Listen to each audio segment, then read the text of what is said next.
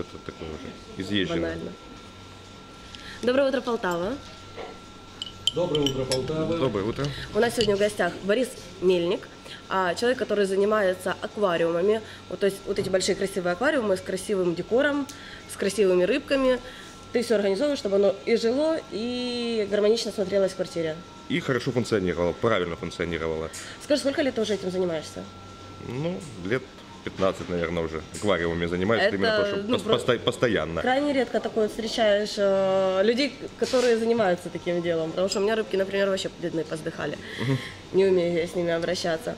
А, скажи секрет хорошего аквариума. Самое главное в аквариуме это э, азотный цикл, то есть это совместная работа рыбок и бактерий. То есть если все, все, все правильно настроено, если все правильно сделать, то никаких проблем аквариум больших не создает в принципе. Насколько я знаю, ты э, делаешь аквариум и с морской водой, то есть там э, рыбки Да, да, да. морскоживущие и пресная вода. Разница между ними, ну вот кроме соли и йода. Э, ну, глобальная разница, то есть там все, ну, все совершенно разное. То есть Сложнее содержать, да? Да, э, морская вода, она ну, как, по химическому составу более сложная, и фильтрация там происходит не за счет там, какого-нибудь там приспособления, а там живут э, бактерии на живых камнях. То есть живой камень это старый скелет э, кораллов, спрессованный годами, то есть он вылавливается только в дикой природе, его там искусственно никак не синтезировать. То есть без живых камней, в принципе, морской аквариум организовать не получится. Э, Зависит еще качество, то есть э, откуда поставляется. У меня, допустим, дома в аквариуме из Индонезии камни, кто-то там Таиланд берет, кто-то еще что-то. Песок из Израиля, допустим, живой заказывался. тоже Это, то есть тихонечко поехал, отдохнул, бегом камень с собой и привез. Нет, такого делать нельзя, за такое больно бьют, по, по кошельку в основном. Там штрафы там тысячи долларов. То Ага. есть, да, то есть, в основном это все ну, э, специальные исследовательские центры, они получают разрешение на исследование, и чтобы оправдывать себя вот коммерчески, они это потом часть это продают. То есть там разводят кораллы, размножают их, выбрасывают их в коммерцию. Такого плана. То есть из дикой природы кораллы, там живые камни никто забирать просто так не может, потому что это все наказуется.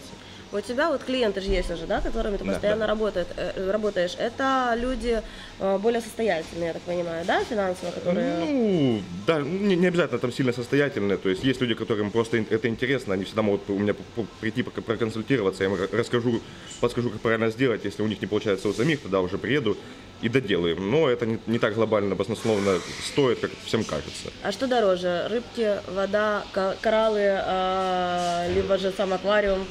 Морской ты имеешь в виду или Какой цен- при- Ну, морской, морской, морской. Ну, в принципе, если обычный, то Ну, морской я это, в принципе, хотя бы дорого. как-то визуализирует. Морской это в принципе дорого. То есть собрать там аквариум э, литров на 30, чтобы там было красиво, чтобы там были хорошие, хорошие живые камни. Он как- такой усенький. 30 литров это вот 30 на 30 на 30 кубик, это 27 литров вот получается. Вот такой вот аквариум где-то порядка там, ну, до 3000 гривен можно собрать. Да, Немало. морской, это с да. рыбками.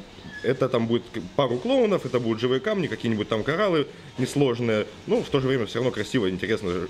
Ну, там каждый сантиметр аквариума живой. То есть там Это немножко Индонезия у тебя дома получается. если-. Скорее Красное, Красное море. Красное море. Да, Даже скорее Красное Красное море. Ух ты. Да, ну чаще пытаются копировать Красное море, там все поярче, покрасочнее, там больше кораллов, больше рыбок на квадратный сантиметр и все остальное. А все-таки ну, у нас больше политики этим интересуются, не знаю, там, а, либо же ребята-бизнесмены, которые... Э, Очень много бизнесменов и много людей, которые э, госслужащие, допустим, на больших чинах. То есть это отдых, когда приходишь домой, смотришь на рыбок. Это даже не отдых дома, это отдых э, на работе в кабинете. Релакс такой в рабочее время. Да, да, да, потому что работа напряженная у людей, много вопросов, ну, приходится решать одновременно, и нужно как-нибудь от этого отвлекаться. Какие самые экзотические рыбки тебе приходилось заселять в аквариумы полтавчан? Ну, э, самые экзотические хирурги, морские хирурги, то есть там есть белогрудый хирург, королевский. Они со скальпами плавают? Э, Нет, у них возле, возле? Со скальпелями. у них возле основания хвоста у них есть такой вот э, как бы шип, и в случае опасности они могут даже нападать на дайверов. То есть они этим шипом Они конкретно большие? режут. Есть разные виды хирургов, то есть они там самые большие, там больше метра растут, там те, которые в аквариумах используются, они чаще не такого большого размера, но более красочные. И сколько цена вопроса такой рыбки, Ну, чтобы у нас... 4 тысячи, 5 тысяч гривен. Ага, в гривне. И сколько она живет? Э, По-разному. Может прожить несколько месяцев, может прожи- прожить 5 Не, ну лет. если хорошо ухаживать, э, сколько? 5-10, да? Вопрос даже не в уходе, а в том, что рыб э, вот морских чаще всего их не, ну, их, их не размножают. И от рыб ловят в, дикой природе. То есть в основном это идет кон- контрабанда, потому что ну, официально рыб запрещено вывозить. Но тем не менее умудряются. И травят их от химии, то есть, чтобы их словить, их же не, не- не сидят там с удочками ловят. Это засыпали химию в воду, какой рыбе Они попало больше, да, какой рыбе попало, попало больше, та, та- та сразу умерла, какой попало меньше, та пожила у кого-то в аквариуме, умерла через два месяца. Которая попала совсем мало, та живет нормально долго. Ого, Да. какой отбор интересный. Да. Суровый даже, я бы так сказала. И, ну, порядок цен, то есть, э, опять же, э, дорого не потому, что там, в принципе, это дорого. Там, где их отлавливают, там рыбка стоит максимум 10 долларов. А пока она доезжает к нам, это уже цена превращается в 150-200 долларов. Э, За счет того, что это все незаконно. А какие самые популярные рыбки? Клоуны. Однозначно клоуны это самая популярная морская рыбка. Рыбка Немо. Ага, они прикольные, мультик все видели, я думаю. Ну они, и, и Дори, вот это вот же они тоже. тоже ж морская вода, да? как Да, да, да, морская вода, но эт- этих рыбок размножают в аквариумных условиях, то есть есть даже ребята у нас в Кременчуге, э, Александр, там он первый, насколько я знаю, размножил. Ну, такое. А это надо тоже какие-то же условия создавать, большой аквариум, большая территория. Очень да? сложно выкормить, то есть э, не так сложно получить нерест от этих рыб клоунов, как сложно выкормить малька. Там нужно определенный фи- э, вид зоопланктона кормить определенными видами фитопланктона, и только потом им можно кормить малька и этих клоунов. А кроме рыбок, чем еще экзотическим наполняют аквариумы? Креветки я слышал. Креветки очень красивые, причем креветки, они чаще всего э, не только красивые, они еще и полезные. То есть есть креветка доктора, которая там отбирает паразитов с рыб, есть креветки, Я думала, которые живут- есть их полезные. Есть креветки, которые э, состоят в симбиозе там, с э, актиниями. Они тоже ухаживают за актинией, там почищают, убирают с нее паразитов, носят ей поесть. Актиния, в свою очередь, э, предлагает вот такой креветке защиту. Морской конек я еще слышал такое. Ну, вот коньков, кстати, в аквариумах не очень часто держат. То есть это больше экзотика, у них там специфика такая, что э, с ними же, ну, кораллов не- нельзя выращивать. То есть э, они не любят сильного течения, а кораллы наоборот любят. А у вас есть дома э, коньки? Нет, нету. У меня клоун есть. У тебя большой аквариум дома? Э, на 100 литров.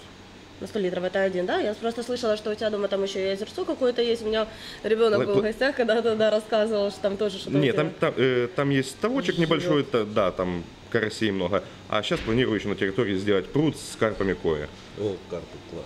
Это вот эти, что Цветные, красные, да, да, да, цветные. японский карп. Это просто, чтобы смотреть, и глазик Да, да. радовался. А они зимой как? Спокойно, если глубина пруда больше двух метров, то Не э, промерзает. не промерзает, зимуют спокойно. То есть они краси- красивые, экзотические, э, но тем не менее неприхотливые.